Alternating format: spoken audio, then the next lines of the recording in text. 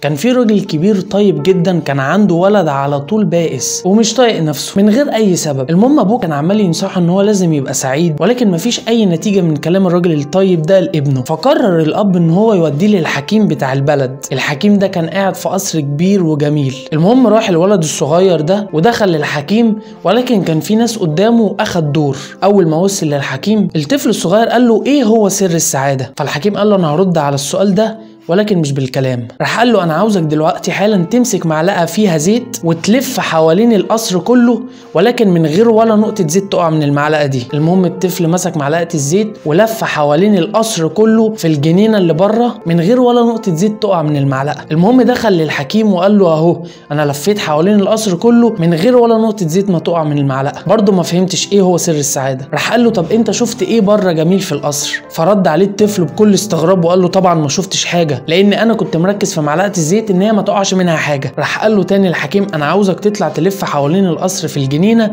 ولكن من غير أي معلقة دلوقتي. الولد طلع واتمشى في الجنينة اللي حوالين القصر واتفرج على جمال الزهور وعلى الأشجار والنخل اللي موجود ولقى مكتبة صغيرة كده فيها كتب جميلة دخل فيها. ولما رجع للحكيم فالحكيم قال له بقى احكي لي شفت إيه؟ طبعا الولد رصله كل الحاجات الجميلة اللي هو شافها. فقال له الحكيم هو ده سر السعادة. السعادة أنت اللي بتصنعها لنفسك. في حياتنا حاجات كتيرة حلوة وحاجات وحشة ولكن الشخص اللي دايما سعيد هو اللي بيبقى مركز على الحاجات الحلوة ومش مركز على الحاجات الوحشة ولكن الشخص اللي بيهتم بهمومه ومشاغله هو اللي بيفضل تعيس طول عمره. وأخيرا بقى أنا ماركو ما تنساش تعمل like و follow و share